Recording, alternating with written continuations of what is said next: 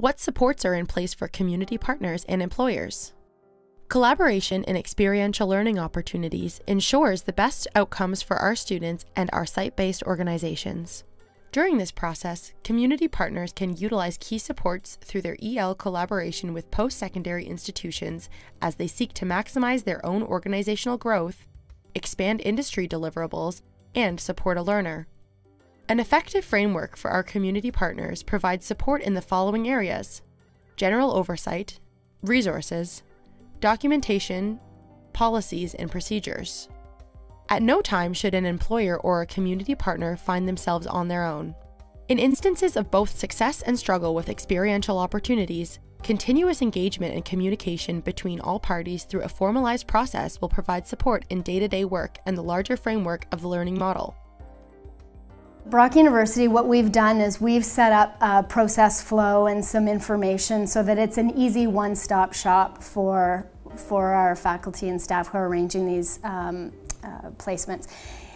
And in those documents that have a process flow, we also provide them with clear checklists that they can use and the documents that they are just filling in the students' names uh, and having signatures on them and, and what have you. So we've provided clear processing um, documents and uh, the associated checklist that they need to really bring it forward and have a successful placement. It's a project called SENCO, the Social Enterprise Network of Central Ontario.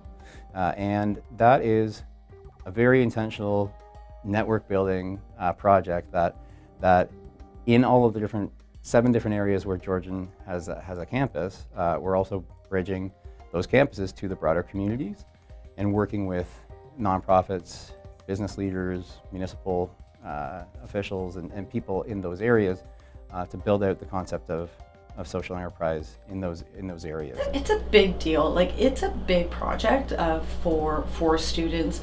So the assessment starts the day classes start, if you will, in terms of formulating formulating expectations, linking the expectations with respect to the deliverables right back to the learning objectives and the vocational learning outcomes that are set forth in the course outline and making sure that they understand that at the end of this process it's extremely um, important for them to under, understand that they're working towards uh, the ultimate goal of fulfilling these learning outcomes. The students are evaluated exactly the same as they would if it was a fake project. So the rubric that I would use for any of these projects stands the same the, I'll have to be more flexible in timing because the client doesn't always meet the deadlines that they set out, but everything else remains exactly the same.